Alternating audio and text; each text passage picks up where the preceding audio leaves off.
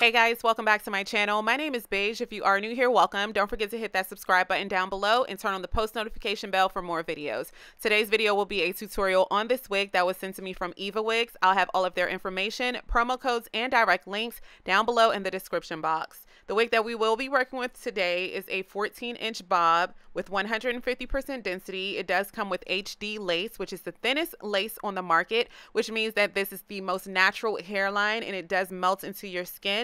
The knots have been pre-plucked for you and the knots are also bleached for you. I do have six inches of parting space on this wig, combs, a removable elastic band, and an adjustable strap. All right, so let's jump right into this tutorial. So here's how the wig looks when you first take it out of the package and you put it on your head. I love the density of it. It's a very natural density. The hair on this wig is so, so, so soft. I love the natural luster and shine to it. I do want to show you guys how the hairline looks when you first take it out. It is pre-plucked, so you do not have to do anything else to the wig, but I do want to take that extra step of plucking a little bit more hairs from the hairline. So I am going to do the zigzag method of plucking from the beige method. Of course, you know I have a full tutorial on this, so I'm not going to go too deep into the tutorial, but I do want to show you guys the before and after.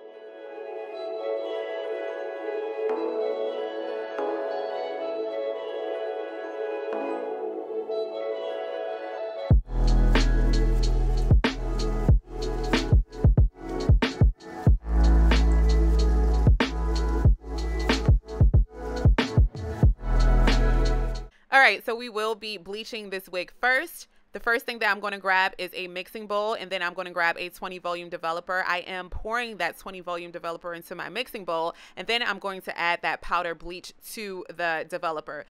For time's sake, I did not record the process of me bleaching the hair, but I do want to show you guys the results. So this is the color that I decided to um, lighten the hair to. I did leave the bleach on the hair for about 20 to 25 minutes washed it and now I am ready to apply the dye. So I'm going to grab one bowl and in that one bowl I will be mixing number 30 ginger by Adore as well as a little bit of Cajun spice number 56 also by Adore and I am going to use that color on the roots of this wig and this is basically going to turn that hair like a ginger orange spice color.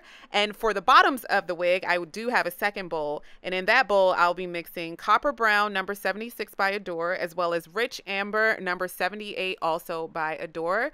And I will be just using that for the bottom halves of this wig and that's going to give me that reverse ombre color that I'm looking for. Because these colors go in sequence you are able to do like the ginger color first at the roots and then add the Cajun spice in between before you get to the copper brown hair color if you want more of a gradual hair color. But I, I don't want a gradual hair color with three different colors in one.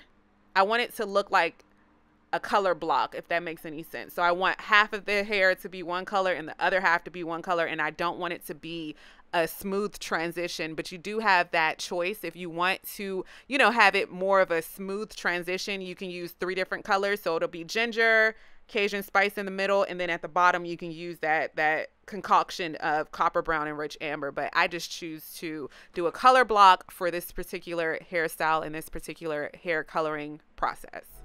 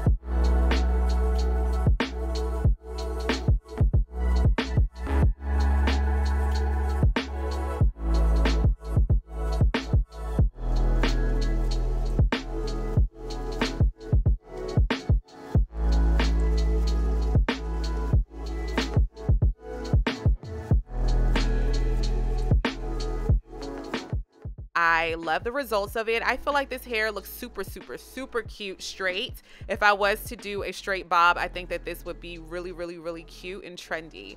All right, so we're just gonna go ahead and darken the roots a little bit because I feel like I want it to be a reverse ombre, but I want my roots to be a little bit darker so that it can match my own natural hair color or at least the bottom half of the wig. So I'm to go ahead and grab some black eyeshadow and I am just to darken the roots with that shadow.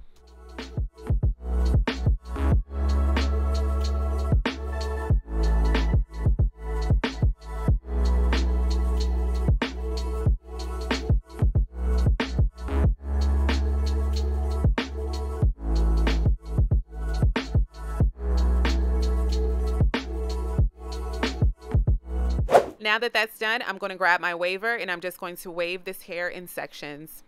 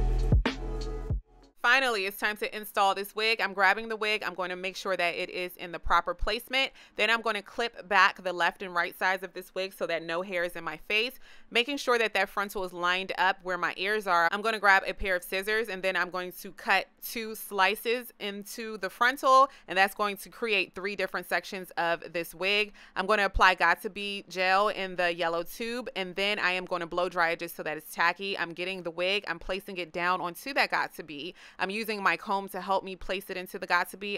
I'm going to repeat those steps for the left and right sides of this wig and then I am going to place my headscarf on for a few minutes. I am going to take the headscarf off and then cut that extra lace off.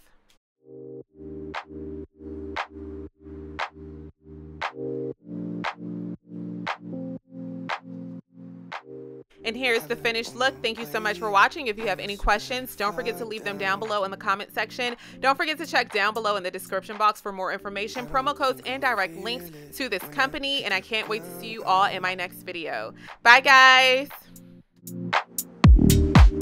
In October, it feels like summertime. I keep falling for you like every night. Been communicating through satellites, yeah black and white. I'm all up in the clouds when it's pouring rain. Ain't never coming down unless you call my name. Yeah, we should take it slow, just like day by day. Like day by day. It's Bezos, Yeah, that's right, it's Bezos, I, I, I.